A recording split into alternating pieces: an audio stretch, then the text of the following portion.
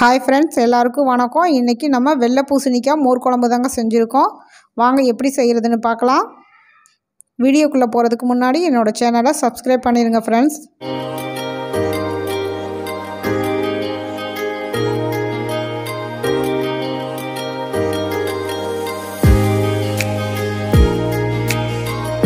இப்போ நான் ஒரு இரநூறு கிராம் வெள்ளை பூசணி எடுத்து தோல் சீவி கட் பண்ணி வச்சுருக்கேங்க. க்ளீன் பண்ணி.